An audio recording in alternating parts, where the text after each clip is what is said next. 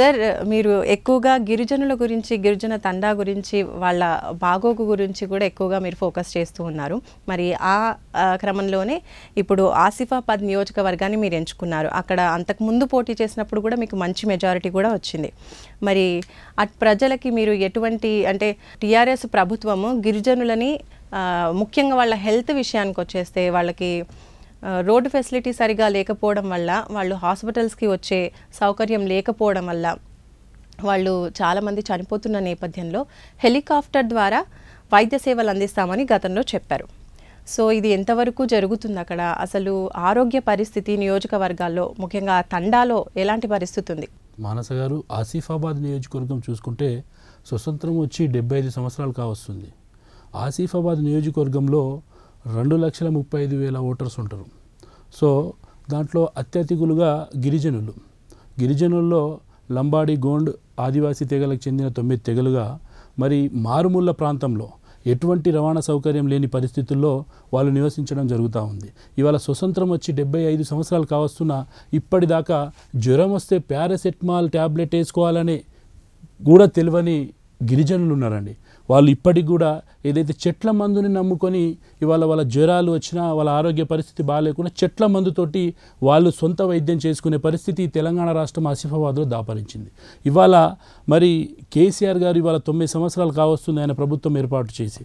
రెండుసార్ల కుమ్రం భీం ఏదైతే ఈ కుమ్రం భీం నవాబులతోటి పోరాటం చేసి జల్ జంగల్ జమీన్ మీద పోరాటం చేసిన యోధుడు ఉన్నాడో అతని వర్ధంతికి కానీ మరి సభలకు వచ్చి అప్పుడు ఏమంటాడంటే గుట్ట ఉంటుందండి పైన ఆ గుట్ట మీద ఎక్కి గుట్ట మీద హెలికాప్టర్తో ల్యాండ్ అయిన తర్వాత ఒక సభ పెట్టి కేసీఆర్ గారు ప్రతి సభలో ఇక్కడ ఉన్న గిరిజనులకు నేను హెలికాప్టర్ల ద్వారా వైద్యం అందిస్తా. వీళ్ళకు ఏదైతే జోడేఘాట్ ఉందో జోడేఘాట్ ప్రాంతంలో గు గుర్రాలకు సంబంధించిన ట్రైనింగ్ సెంటర్ని ఏర్పాటు చేసి మరి వాటి ద్వారా కూడా వీళ్ళను నేను వైద్యం అందించి వీళ్ళకు డబుల్ బెడ్రూమ్ ఇల్లు కట్టించి ఇక్కడ ఉన్న పూడి వ్యవసాయానికి పట్టా ఇస్తా అని చెప్పేసి అబద్ధపు హామీలు లెక్కలేని హామీలు ఇచ్చిపోయి తర్వాత అదే గుట్ట దిగిన తర్వాత హైదరాబాద్ వచ్చేసి మరి అక్కడ పొగిడిందేమో కొమరం భీమ్ని. కొమరం భీమ్ పోరాటం చేసింది ఎవరితోటి? ఇక్కడ ఉన్న నవాబులతోటి పోరాటం చేసింది అప్పట్లో. జల్ జంగల్ జమీన్ మీద. మరి ఇక్కడికి వచ్చేసి బ్రహ్మాండంగా అప్పుడు నవాబ్ ఇక్కడ మంచిగా పరిపాలించారని చెప్పేసి. అంటే కేసీఆర్ ఎవరి సైడ్ ఉన్నాడు? ఇటు నవాబ్ సైడ్ ఉన్నాడా? లేకపోతే కొమరం భీమ్ సైడ్ ఉన్నాడా?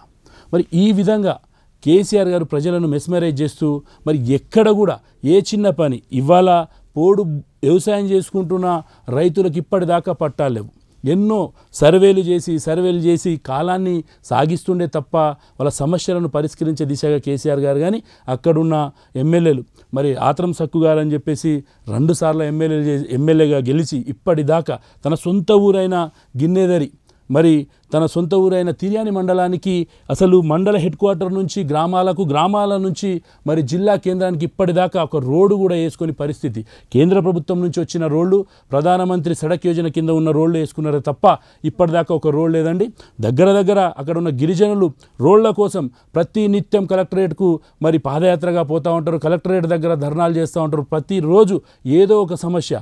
రవాణా మార్గం ఉండాలి. మరి ఈ కేసీఆర్కి గిరిజనులకు రవాణా మార్గం ఏర్పాటు చేస్తే మరి వీళ్ళు తెలివి పరులై చెప్పేసి దాడి చేస్తారనా? మరి కేసీఆర్ ఎందుకు వీళ్ళను మరి రవాణా ఉంటేనే చదువుకుంటారు? రవాణా లేని పరిస్థితుల్లో మరి ఏం తెలుస్తుంది? గిరిజనులు కాకుండా మరి అక్కడ అత్యతిథులుగా బీసీలు ఉన్నారు. బీసీలు ఎస్సీలు. వన్ ఆఫ్ సెవెంటీ యాక్ట్ అని చెప్పేసి.